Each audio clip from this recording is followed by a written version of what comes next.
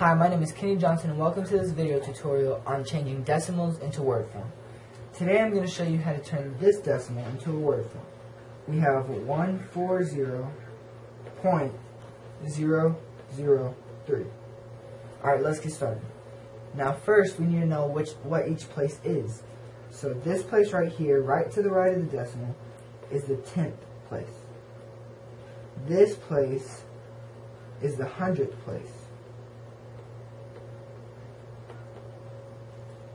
And this place right here is a thousandth place.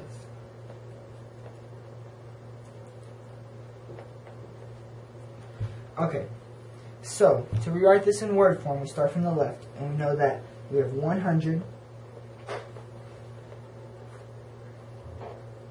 40. Now the decimal gets changed to and when you write in word form. So it's 140 and. Now you can skip any number to the right of the decimal that's a zero. So you could do, you can skip the zero tenths, you can skip the zero one hundredths, and go straight to the thousands place. So it would be 140 and 3 thousandths.